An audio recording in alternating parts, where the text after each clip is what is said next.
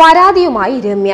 ഖേദമില്ലാതെ Vijayaraghavan. L D F convener A Vijayaraghavan വ്യക്തിപരമായി അധിക്ഷേപിച്ചതിനെതിരെ ആലത്തൂരിലെ യു ഡി എഫ് സ്ഥാനാർത്ഥി രമ്യ ഹരിദാസ് പോലീസിൽ പരാതി നൽകി.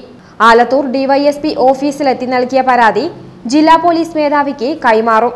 എ. വിജയരാഘവന്റെ സഭ്യതര പരാമർശങ്ങൾ ആസൂത്രിത നീക്കത്തിന്റെ ഭാഗമാണെന്ന് പരാതിയിൽ ആരോപിക്കുന്നു. പ്രതിപക്ഷ നേതാവ് രമേശ് ചെന്നിത്തലയാണ് ഡി ജി പിക്ക് പരാതി നൽകിയത്.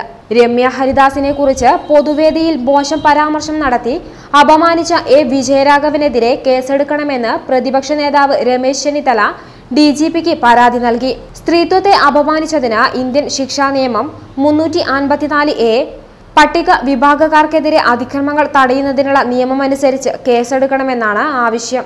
സഭ്യതര വാക്കുകൾ പിൻവലിക്കാൻ വിജയരാഘവൻ തയ്യാറായില്ല. ഇതിനിടെ പൊന്നാനിയിൽ നടത്തിയ വിവാദ പരാമർശത്തിൽ വിശദീകരണവുമായി എ. വിജയരാഘവൻ ഇന്നലെ രംഗത്തെത്തിയെങ്കിലും സഭ്യതര വാക്കുകൾ പിൻവലിക്കാൻ തയ്യാറായില്ല. എൽ. ഡി. എഫ് കൺവീനറുടെ പരാമർശങ്ങളിൽ കേരളത്തിലെ നേതാക്കൾ പ്രതികരിക്കുമെന്ന് പറഞ്ഞ് C. P. M. General secretary Sitaram യെച്ചൂരിയും ഒഴിഞ്ഞുമാറി. അന്വേഷണം ഡോട്ട് കോമിന് വേണ്ടി അനുശ്രീ വത്സൻ